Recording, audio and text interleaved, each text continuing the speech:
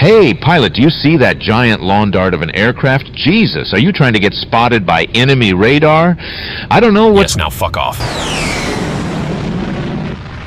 Well, so much for that. What to do now since I'm bored? Uh, who is locking me? Oh, hey, look, an SU-57. Can't wait to turn you into scrap metal. Ah!